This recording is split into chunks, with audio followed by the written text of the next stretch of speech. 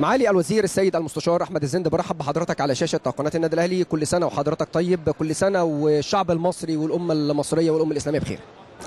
آه كل سنة وحضراتكم طيبين ومصر بخير وبرخاء وصحة وعافية ومنصورة دائما والنادي الأهلي كذلك والرياضة المصرية.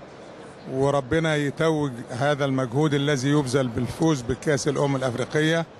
وكل سنة والنادي الأهلي عشقنا الأول والأخير بخير وبصحة وبعافية وفي أوج مجده وعظمته و آه، دائما للبطولات في شتى الألعاب ها؟ ويلبي طموح جماهيره العاشقة والمحبة بل والولهانة به وأتمنى للرياضة المصرية آه، كل تقدم وكل رفاهية لأنه الآن نحن اقتربنا من نقطة الخطر.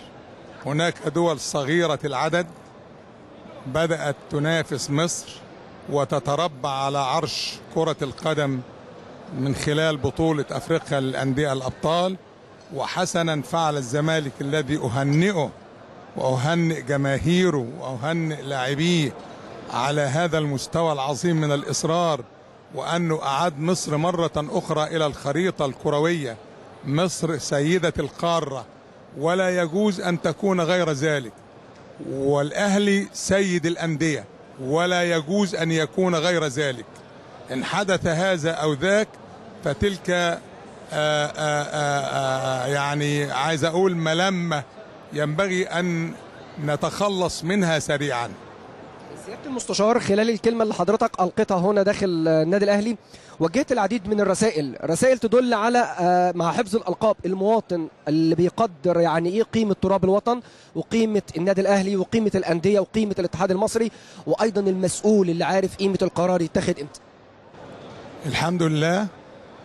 أشكرك على أنك نعتني بهذه الألفاظ وهذه الأوصاف التي يتمنى كل إنسان محترم أن ينعت بها ويتصف بها أنا وأنت وغيرنا كلنا في الأول وفي الآخر مصريون نقدس تراب هذا البلد ونعشقه ونتفانى في عشقه حتى الموت.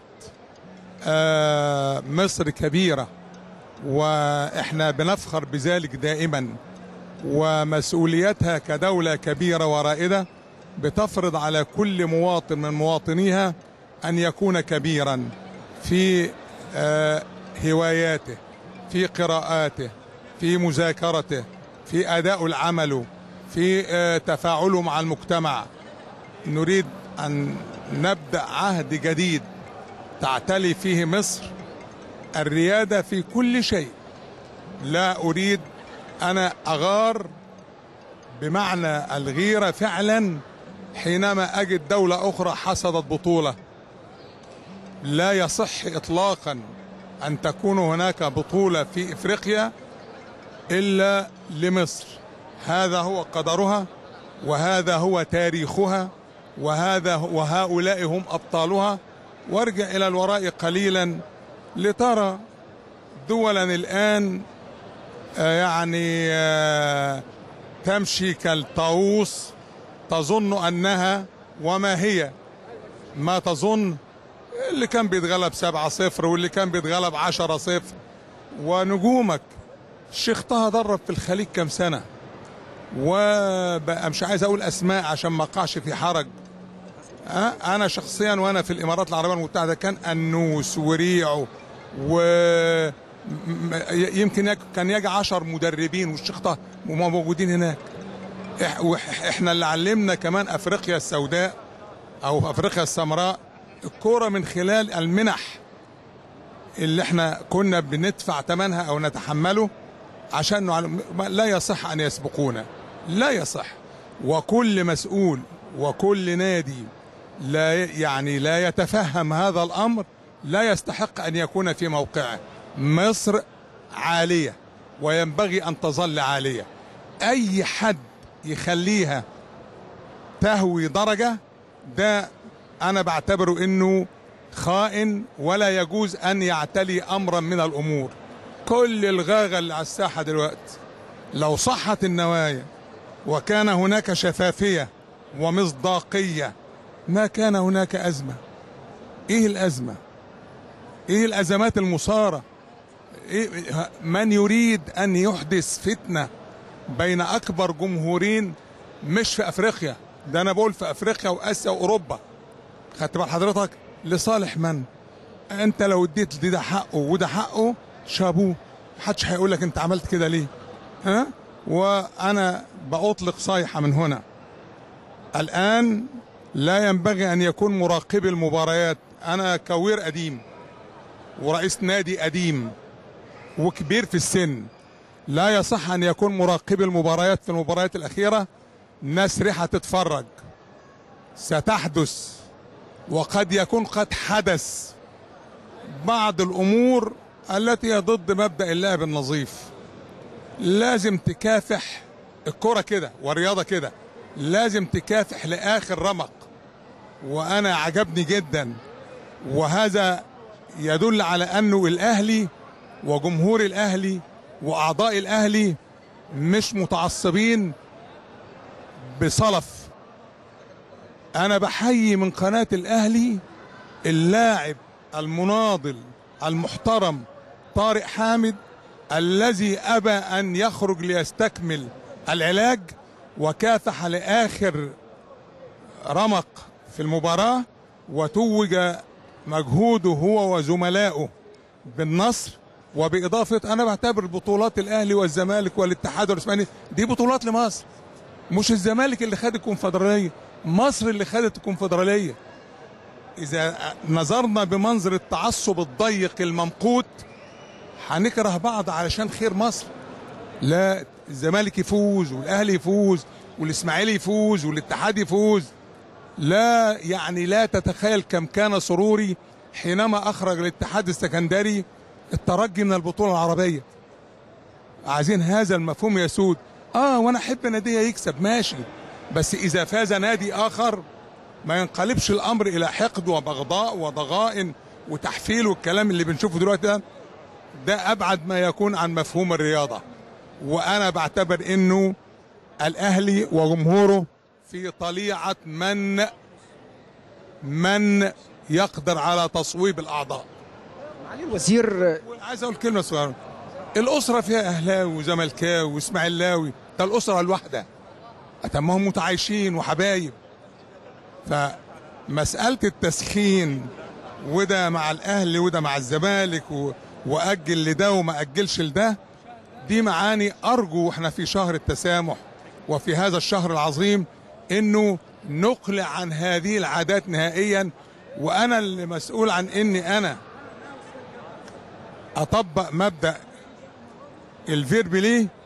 أنا الأول أبقى فيربلي. أنا الأول أطبق المبادئ. ما بقاش من هنا بوش وهنا بوش.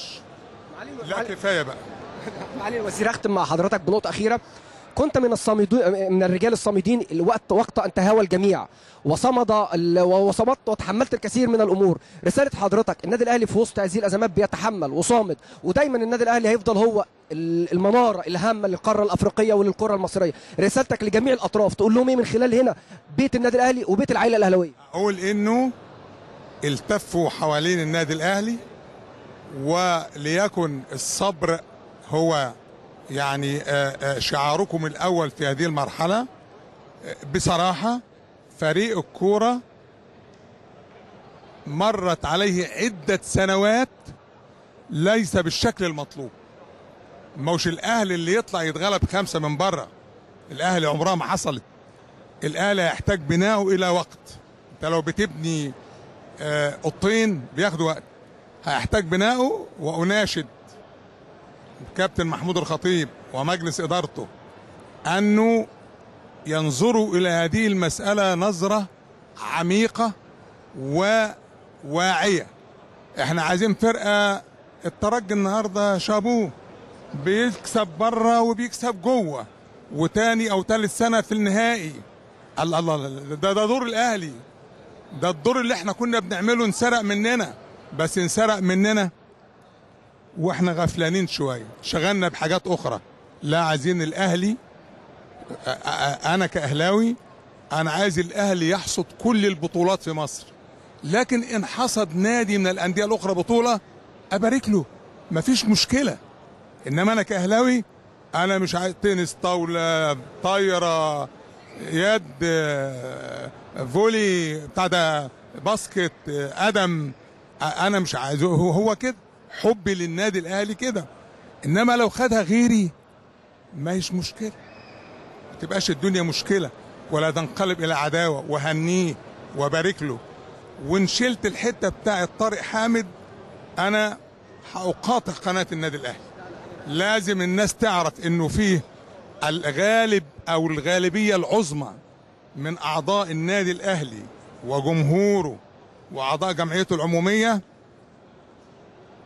بيهدوا كل ذرة عرق كل حبة عرق يبذلها رياضي في ملعب لمصر.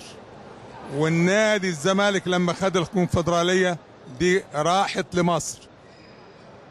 بهذا المفهوم هنرتقي وهنتحد وناس